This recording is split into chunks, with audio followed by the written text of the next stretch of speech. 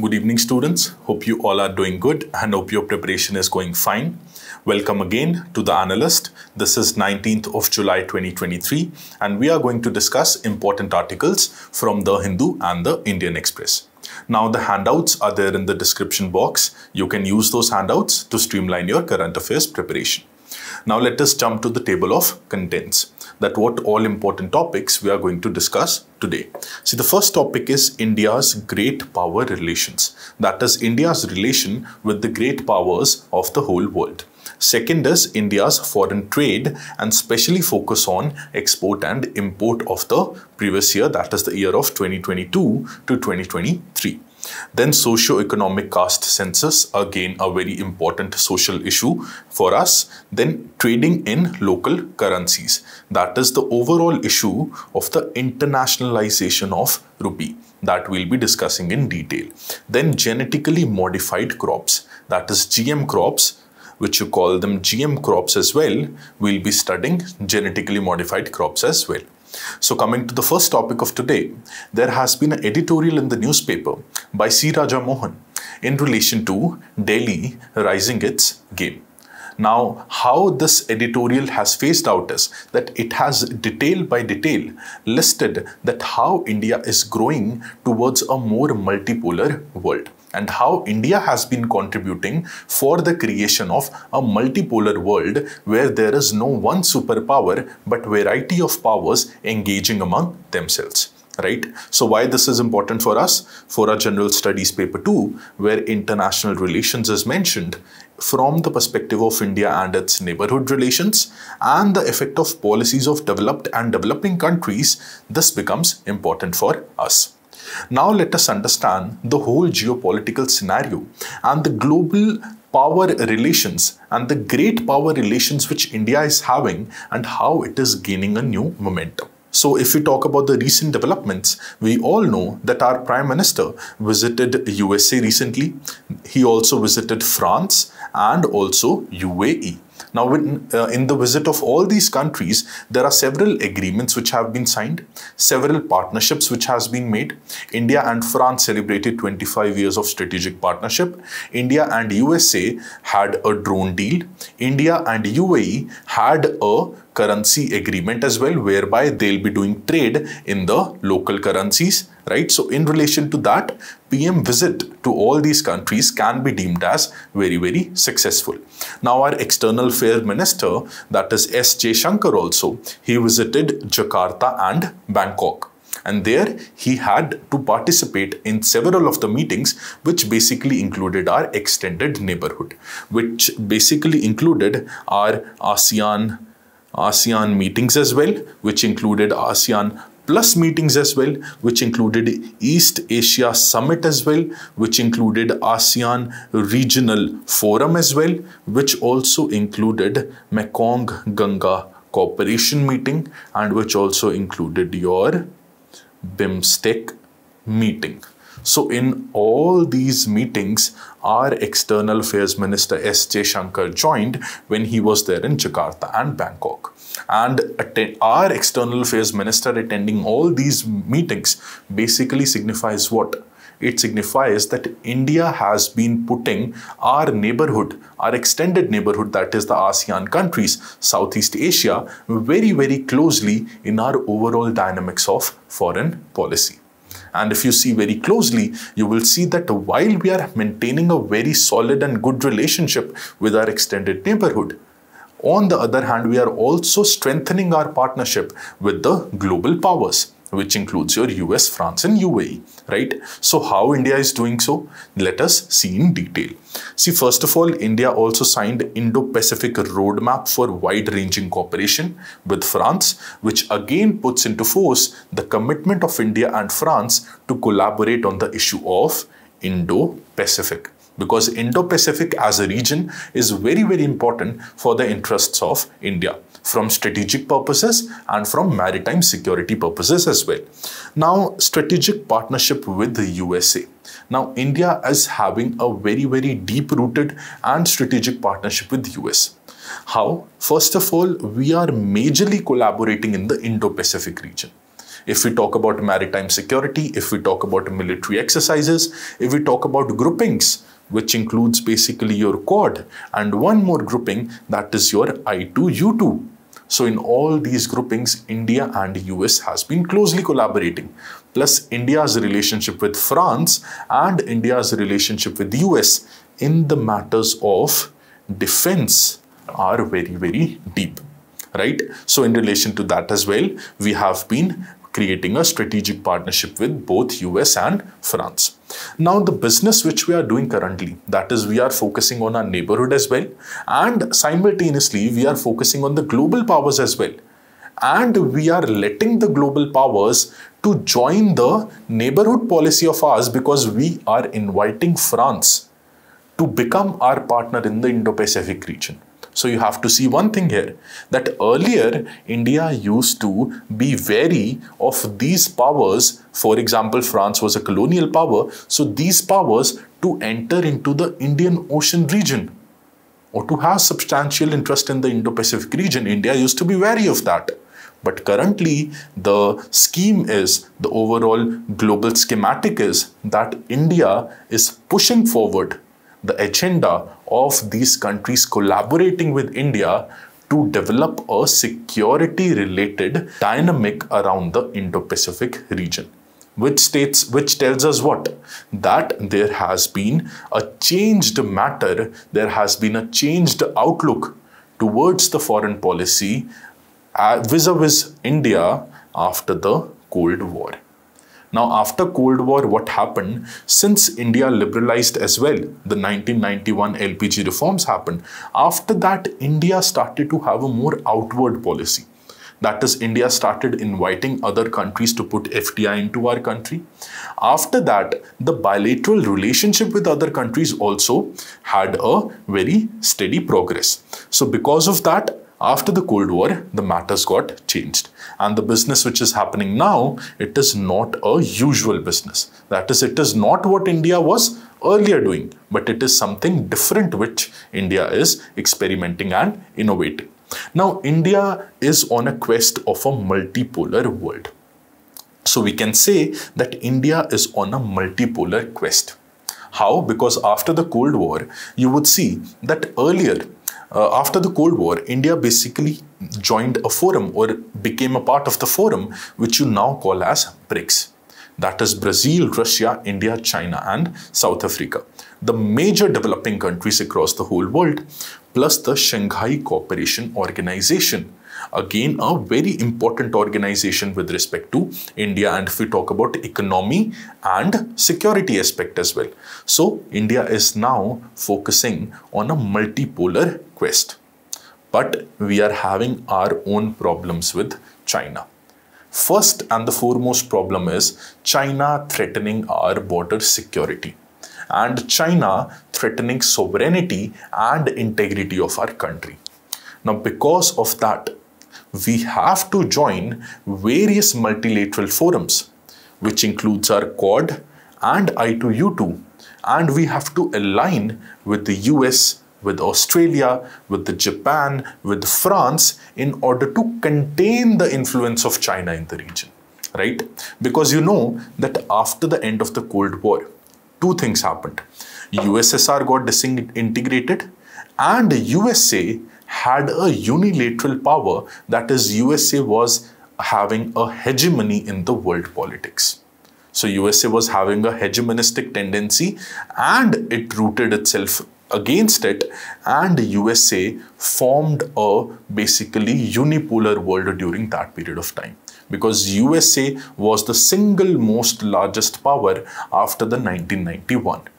But after the 2008 crisis, after the 2008 global financial crisis or after the twin tower attack which happened on US the hegemony of US basically started to erode a bit.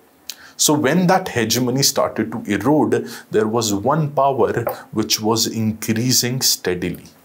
And that power was China. And now the time is such that is in the year 2023 China is looking eye to eye in front of US and China is directly challenging the hegemony of United States. So currently two things are happening. US is trying to protect its hegemony and China is directly challenging the hegemony of US in the global politics in the global world. So from the interest of US, US also wants to contain China. From our interest, because China is our neighbor, China is a nuclear power, because of Chinese alignment with Pakistan, and because China is threatening our sovereignty and integrity, threatening our borders, we have to naturally align with USA. I hope you understand this. But it does not mean that we have stopped aligning with Russia. Even though Russia and China are friends, but still we are maintaining a very good, very amicable and a very sound relationship with Russia.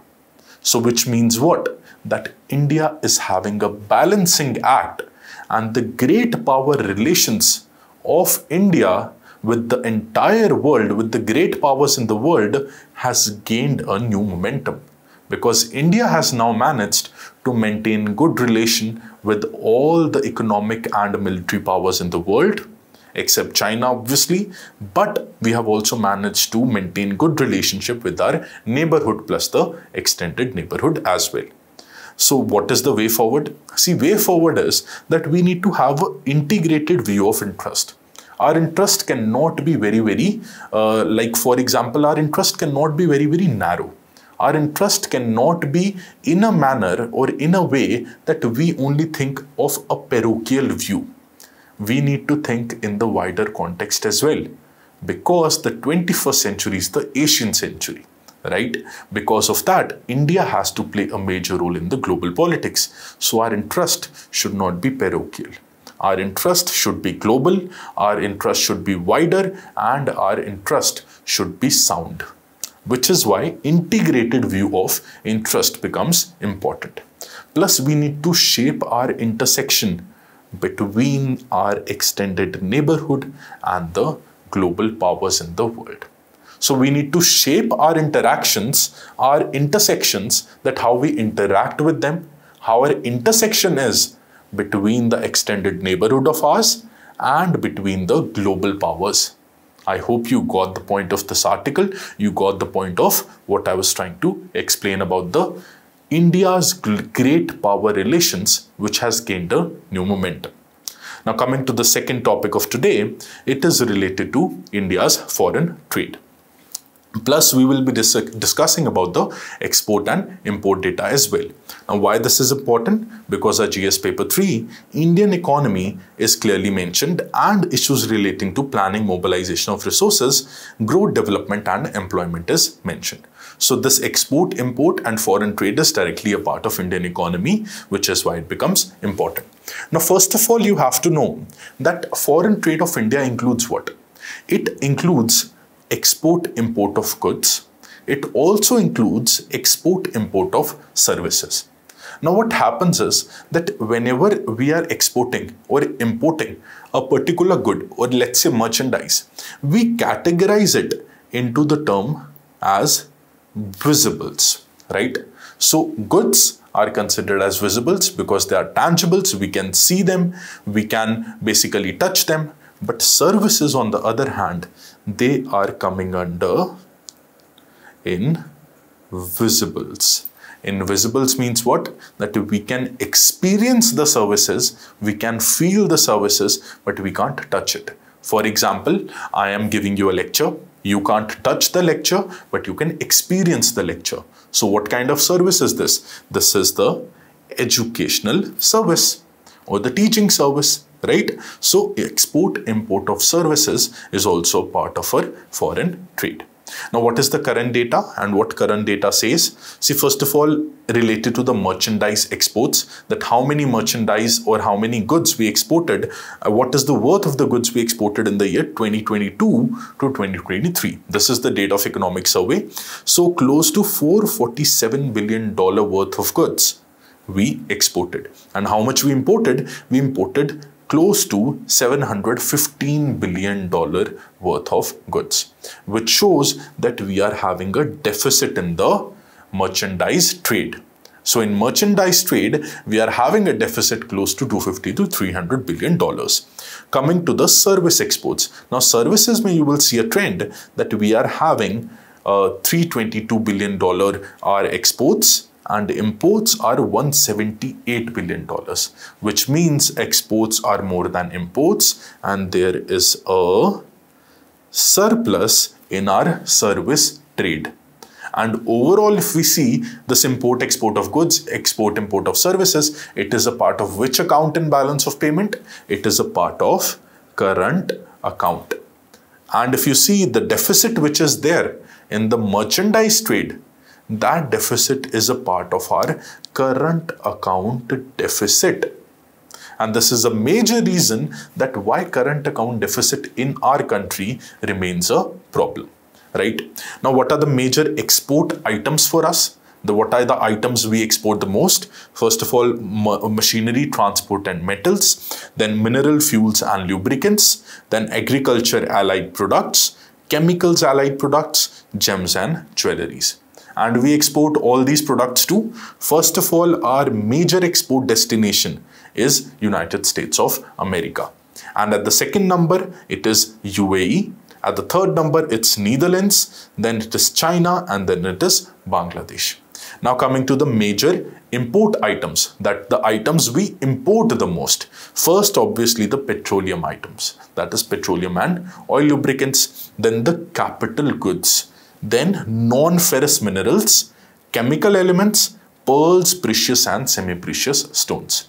Now we all know that we import most of the products because most of the products you see in our household as well, if you see in the market as well, they are made in China. So obviously it should be a no-brainer that the major import source for us at the first number, it is obviously the China. At second number, it is UAE. Third, it is US. Then it is Saudi Arabia. And at the fifth number, it is Russia. So this is about the export import, its destinations, its sources and what are the products and what has been the data in the last year. Now what we need to understand is that why our exports are not able to grow as much as it should. Because we saw that exports of goods were less than imports of goods. So where the problem is that why we are not able to grow our exports and why do we have to import a lot of goods from China? What is the reason? See, first of all, we need to know the challenges faced in our export sector or in our foreign trade sector. First, obviously, is infrastructural deficiency.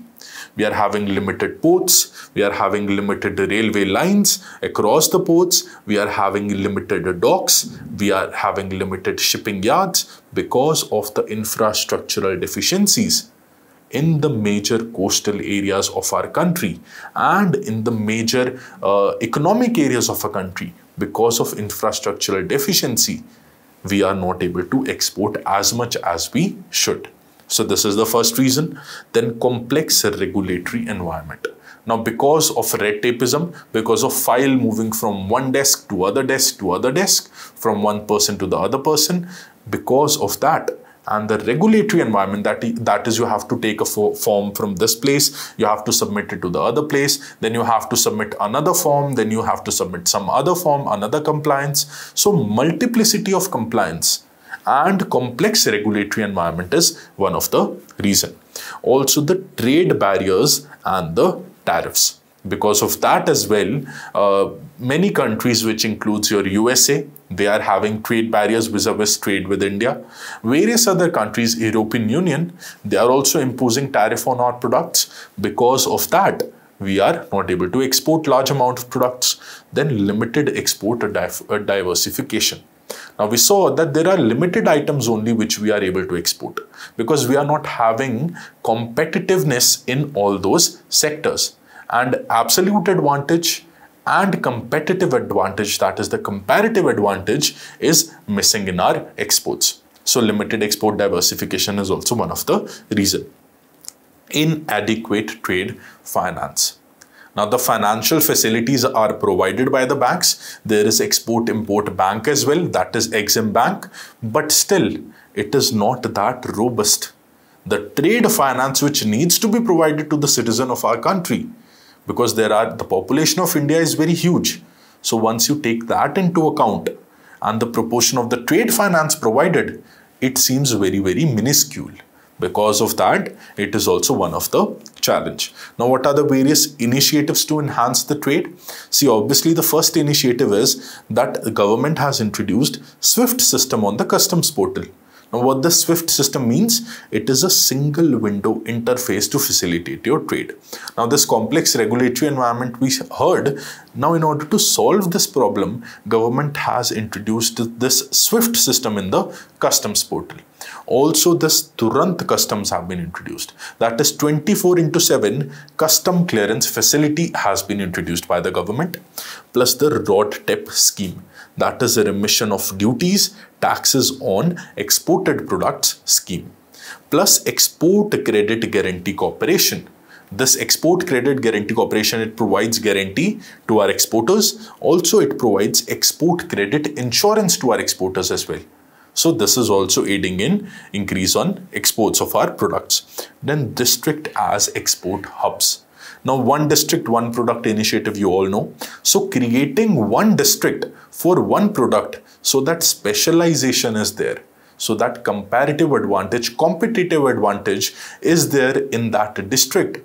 Because of that, our exports will rise because the prices will lower down and the labor cost will also be less. So because of that, eventually creating district as a hub to improve our exports. I hope this initiative is clear. Then the foreign trade policy of 2023, the most important trade policy if you talk about the current context. So you have to prepare it well for your examination as well because this is absolutely important. In this foreign trade policy also, there are several sub schemes and several sub initiatives which the government is aiming to do and has been doing in order to increase our foreign trade and not just in one aspect but from various aspects. For example handloom sector artifact sector right? So in all these neglected sectors as well government has been trying to improve the foreign trade that is to produce those products more and more and export it to different countries. Your production linked incentive scheme is also there. Uh, let me write it down production linked incentive scheme is also there. That is also one of the initiative to improve our exports. So all these initiatives have been taken by the government in order to enhance our trade. But one thing which we need to keep in mind is that having schemes is one issue or one thing. But implementing those schemes so that the results are achieved in a better manner so that the solution is amicably achieved, that is a very, very difficult task.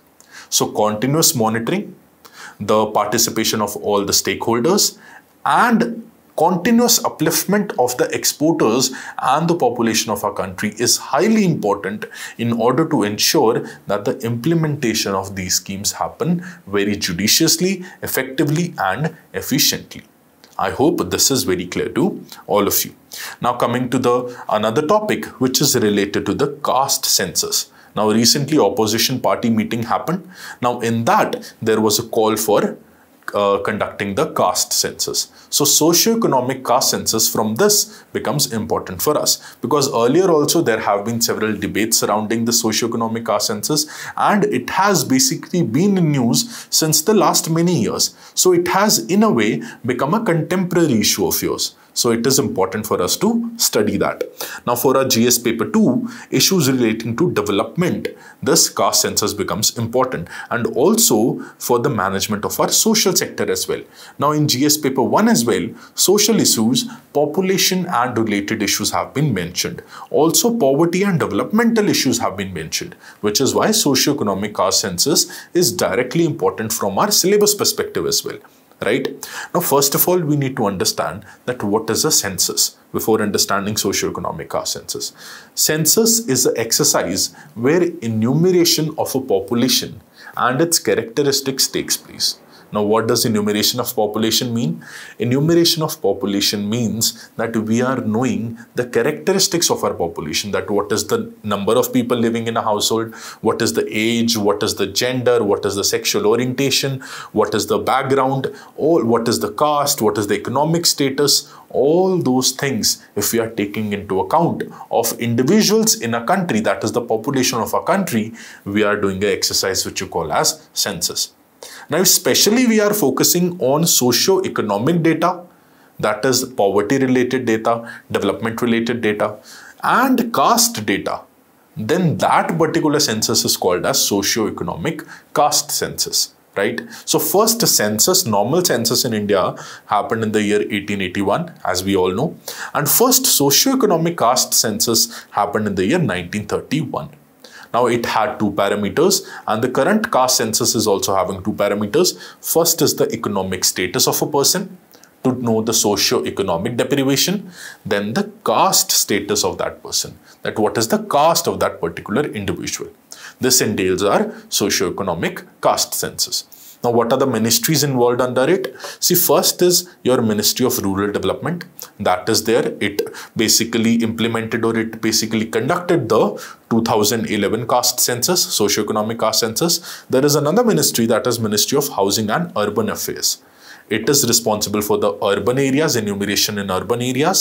Then ministry of home affairs under that registrar general and census commissioner of india responsible for the caste census right? So these all ministries are conducting the caste census, socio-economic caste census and responsible for its conduction. This 2011 socio-economic caste census was conducted by Ministry of Rural Development and it was the first caste census which took both rural and urban areas as a whole. And the results were partially published in the year 2015 and the caste related results are not yet published. So there is an automatic exclusion and inclusion criteria as well. That if there are some parameters in your household, for example, if you're having a mobile phone or if some person in your family is having a government job or if you're having a vehicle. So all those criteria, if you are meeting, that means you are automatically excluded from the socio-economic deprived criteria right but for example if you're not having a roof on your head right? Or if you are a destitute if all those if you are a, a like vulnerable tribal if all those criterias are there then you are automatically included in this socio-economic deprivation criteria so there are various indicators and criteria for automatic inclusion and exclusion of people under this census, right? Now, some data related to the socioeconomic census of 2011, if you want to see, it is there in front of your screen as well. Like 8.69 crore were considered poor and deprived in the rural areas then 2.37 crore households were with single kacha room. Then 5.37 crore people were landless households. Were the 5.37 crore households were the landless households. Uh, people were the land uh, having landless households. Then 2.50 crore households with one salaried member. So all these data you can study for yourself and you can see where you can fit in and use these data. Now coming to the need and importance. Now what is the need and importance for the conducting this socioeconomic caste census? See first important need is that identification of deprived and vulnerable sections. We all know that Indian society is divided into caste and in order to know that what caste group or what social group or what section in the Indian society is vulnerable and is deprived, the socio-economic caste census becomes very, very important. So this is one of the reason. Plus, if we know that how many people are backward, how many people are socially and economically poor, we will be able to target the welfare programs in a better way. So better targeting of welfare programs because of the socio-economic caste census, then in order to address the issues of our local governance, this can be helpful. for policy formulation because we would be knowing that how many deprived people are in which area and what they are deprived of and what they need. So in all these cases, policy formulation will be aided. Then addressing the issues of poverty and inequality. Because until unless we are not knowing who is poor, how will we address the problem of equality, inequality and poverty? Then in order to ensure inclusive development, this socioeconomic caste census becomes imperative and important. Now, what are the concerns and challenges surrounding the socio-economic caste census? See, first concern is that it is a emotive element. See, caste in our society and caste in our country is a very, very emotive element. That is, it is an emotional issue because many traumatic incidents in the past history has happened in relation to caste. So for some people, caste becomes a very, very touchy and a very, very emotional subject. Which is why if we ask every person about their caste, some people might not be comfortable with telling their caste. So, because for some people it is an emotional issue, so conducting this caste census becomes a challenge. Plus, the data is still unreleased the census which happened in the year 2011, uh, the partial data has been released, but the caste data has still not been released. So this is also one of the challenge. Then caste and class are different. See, we need to understand that caste is a hierarchy which is created in the Indian society because of the Varna system. But class is basically an economic criteria that is division of people in various classes that is haves and have nots and based on economic criteria. So we shall not combine caste and class together. That is the opinion of several scholars, right? Then some scholars are saying that some statisticians are also saying that this data is highly unreliable. That is socioeconomic caste data is unreliable. And there are several errors in it. There are several omissions which need to be made. And quality issues are there with the data right? And also your Ministry of Rural Development is conducting this and several scholars are having apprehensions in that as well that why not your Registrar General or Census Commissioner or NSO is conducting this exercise. So this is also one more issue. Then sensitivity and privacy. Now because it is an emotive issue as well, there is certain sensitivity which is associated with caste data with caste of a particular individual and the issue of privacy is there as well that how can we know or how can we make public that what is the caste group, what is the number of people, all those things, right? So privacy issue is also there. Then hardening caste status. Now some people would be saying that we wanted to eliminate caste system from our country and that is the view of several scholars as well. But by doing this exercise, we are strengthening and hardening the caste status of the people. That is, we are labeling people with their caste. So, for some scholars, it is a wrong exercise. Now, the last and the most important challenge is the caste-based politics. Now, you must have heard about casteization of politics and politicization of your caste. So, in these issues, if the caste is politicized and it is made a matter of political debate, then political parties would be in a race to get votes based on this emotive issue. And ultimately, who will be the sufferer? The common people, the common public. Which is why, again, according to some scholars, we must not go in an emotive way and we must not have this caste census, according to some scholars. Now, what is the way forward? See, first of all, as a very progressive society, we need to understand that a careful and reliable conduct of socio-economic caste census is imperative because until and unless we are not having the data, how will we be able to formulate the policies which are targeting those groups or targeting those sections?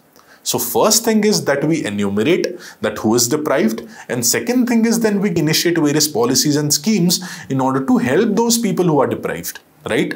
So if first step is not there, how can the second and third step will be effective, right? So according to many scholars and according to the neutral perspective as well, the socio-economic caste census should be conducted, but it should be conducted carefully in a reliable manner because it is imperative for our society.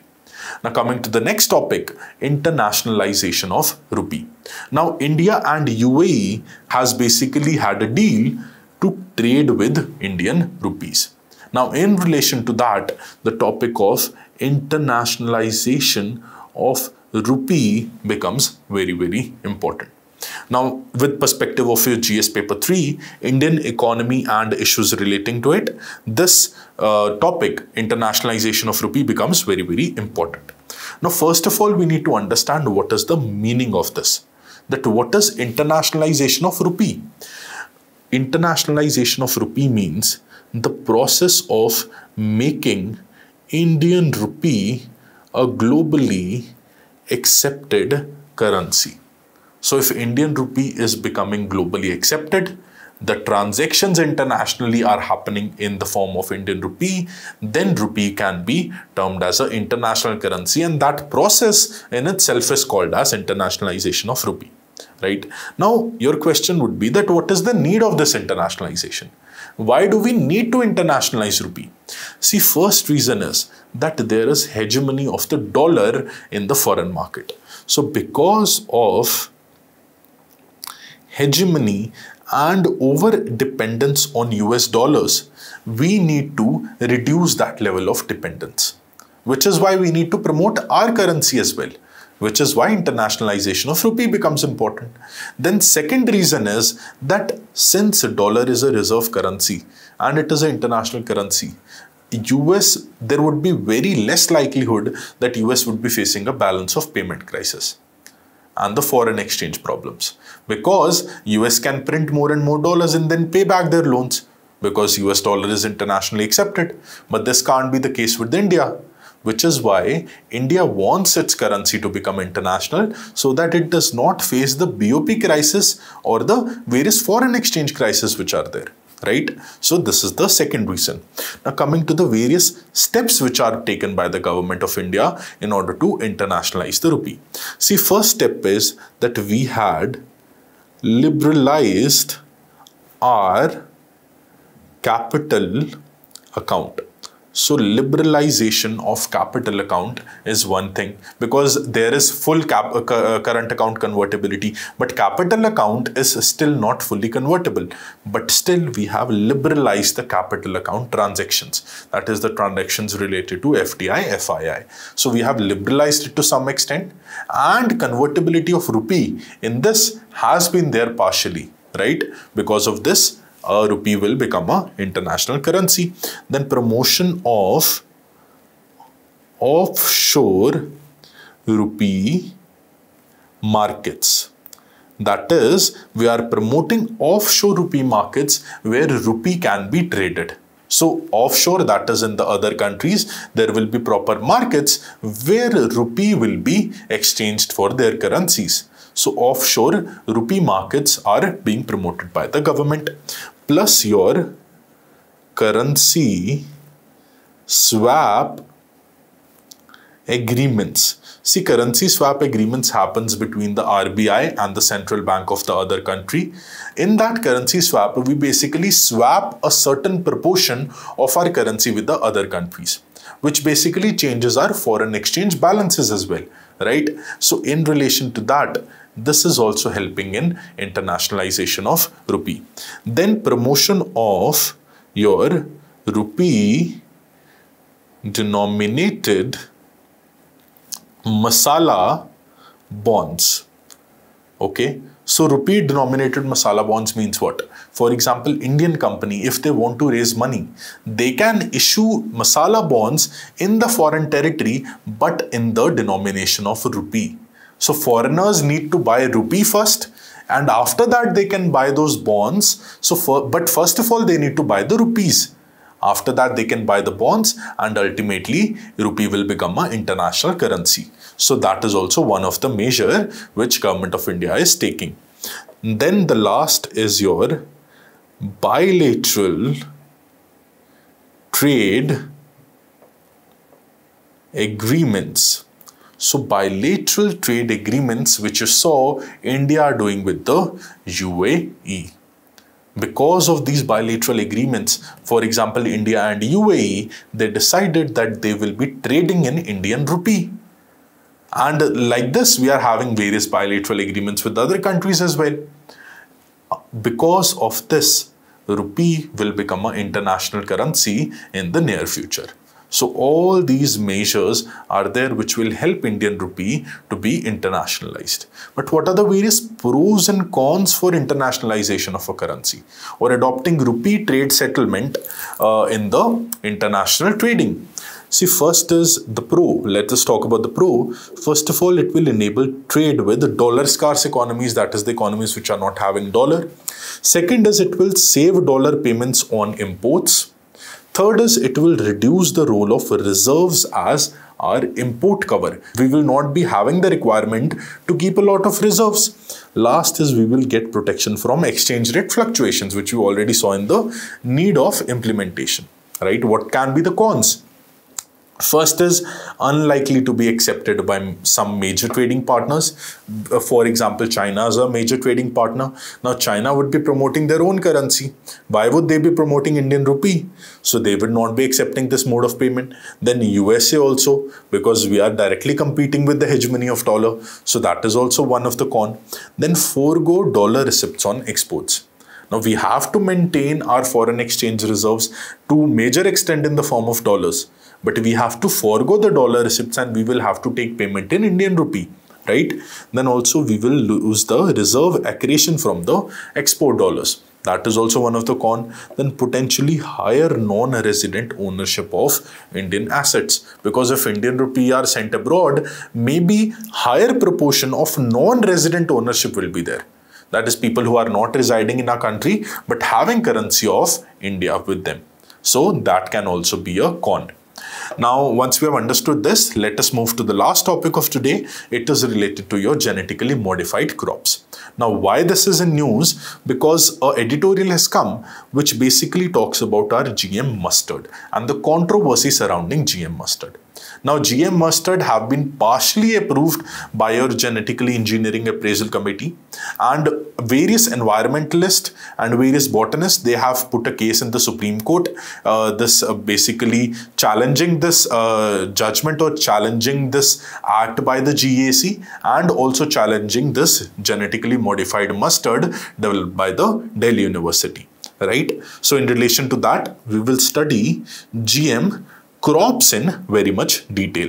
Now, why it is important? Again, for a GS paper 3, science and technology perspective, this GM, a genetically modified crop, becomes important.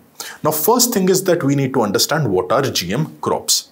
See, GM crops, or as you call them as transgenic crops, they are the crops which the plants are, they are the crops under which there is some genetically modified component. So the crops or the plants that has been modified, the core of the plants have been modified through genetically engineering techniques. Through genetically engineering techniques, if the core of the plants or the core of the crops are modified to enhance its characteristics, to change its characteristics, those particular crops can be called as genetically modified crops. That is, the genes of those crops have been modified. Some might be added, some genetic component might be added, or some genetic component might be altered in those crops. So once we have understood that, let us see the GM crops in India. See, first of all, we have to see in India, there is a committee which you call as Genetic Engineering Appraisal Committee. This is the committee which is a statutory body under your Ministry of Environment, Forest and Climate Change.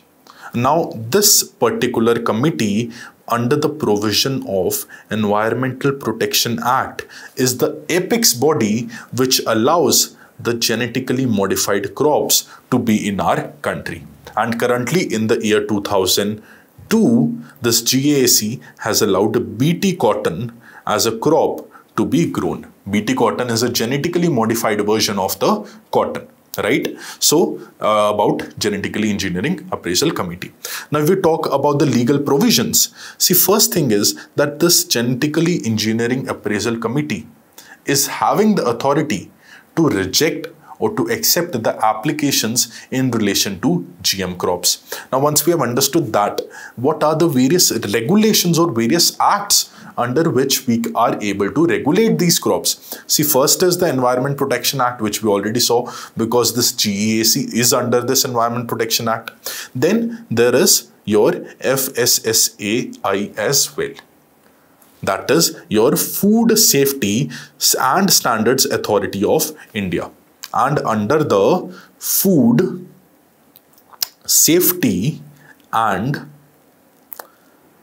Standards Act of 2006. So this is also one of the act which basically affects our genetically modified uh, crops. Then your Biological Diversity Act of 2002. This is also act which regulates GM crops. Then your Plant Quarantine Order of your 2003. This is also one of the thing. Also drugs and cosmetic rules. That is drugs and cosmetic rules of 1988 this is also one of the rules which basically regulates our GM crops. Now this GEAC which is there, this body, this body of GEAC which is there, it was earlier called genetically engineering, genetic engineering appraisal, not appraisal but approval committee. But after that, its name got changed and now it is called Genetically Engineering, Genetic Engineering Appraisal Committee. Now, what are its major functions? See, functions overall we all know, but what are its various functions? First of all, it is responsible for appraisal of activities which involve large scale use of hazardous microorganisms or hazardous materials. So hazardous microorganisms are being used. The appraisal of those acts will be done by this GEAC. Plus they will also have a check on the import and export of your genetically modified organisms or genetically modified crops. And it is also responsible for appraisal of proposals related to release of genetically modified organisms into the uh, into the overall environment and to the release of genetically modified crops also into the overall environment. So this is also one of the basic function which GEAC has. So if we talk about the GM crops in India, there is one crop which is there that is your BT cotton which is allowed to be freely uh, planted or which is allowed to be freely sown in the country. And because of this allowment in the year 2002, currently 90% of the cotton crops you see is the genetically modified version of the cotton crop right and there is one more thing that use of unapproved unapproved genetically modified variant right? It will attract a jail term of 5 years and also a fine of 1 lakh rupees under your environment protection act so under Environment Protection Act, because this GEAC is made under this uh, Environment Protection Act, so this uh, punishment is also there if we use the unapproved GM variant, that is which is not approved by the GEAC. Now, I hope you understood all about your genetically modified crops and also something about the GEAC, that is Genetic Engineering Appraisal Committee. Thank you for watching this lecture. That's it for today. Uh, hope you prepare well and all the very best for your preparation. Good luck.